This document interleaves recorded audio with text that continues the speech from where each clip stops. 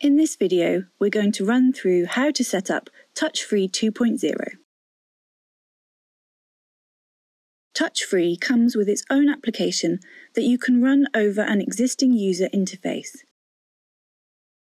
TouchFree 2.0 now has touch-free tooling for both Unity and web so that you can build applications with touchless control as a native feature. Whether you're developing your own application or using the touch-free application, you should follow these setup steps to get going. The first thing to do is set up your Ultraleap hand tracking camera.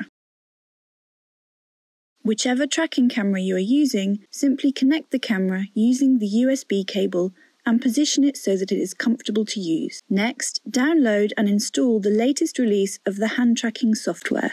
This can be found on our developer site. You now need to run the touch-free installer. Read the terms and accept to continue. Make sure you have the correct file destination. Once installed, open the touch-free application from the Start menu or by clicking the icon in the taskbar. On the welcome screen, choose Set up touch-free to begin configuring the camera to your physical setup. Select Setup Camera. We recommend you choose Quick Setup when you first install touch-free. Choose the position that matches your physical camera setup. The default is below, but choose the position appropriate to your physical setup. Follow the instructions on screen to configure the camera for touch-free. Step 1. Using an open hand, set the parameters of the interaction zone by using your index finger to mark where the target is in the bottom centre of the screen. Then press spacebar. Step 2 sets the top centre of the interaction zone. A touchless cursor will appear on screen. Navigate to Interaction Settings to modify global customization options. These options apply changes to the touch-free app and also to your own applications. You can change the interaction type choosing from air push, Hover and Hold or Touch Plane. For more information about the benefits of the different interaction types, visit the touch-free user manual on the Developer Resources site. You can customize behaviors such as whether scroll and drag is enabled. When scroll and drag is enabled, you get touchscreen-like functionality.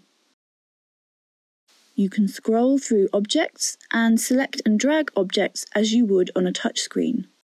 You can also modify the responsiveness of the cursor and, if using touch plane, you can set how far the touch plane should be from the screen. If a hand touches this two-dimensional virtual plane, a click event is triggered. Ultraleap cameras can track hands over an impressive distance, so you might want to set a maximum distance to make sure that users have to be close to the kiosk to control the cursor.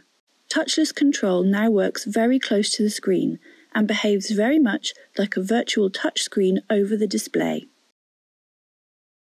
Navigate to User Interface Settings to customize the behaviors for the touch-free application.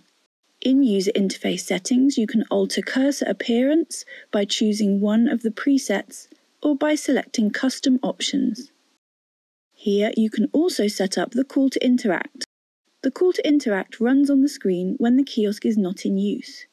Based on user research, the call to interact is designed to communicate to the user that the kiosk is touchless and how they should interact with it.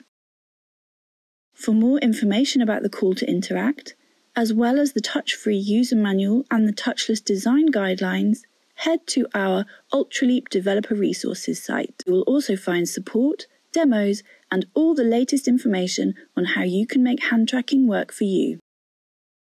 If you are developing with touch-free, you can download touch-free tooling for web and Unity from the Ultraleap developer site.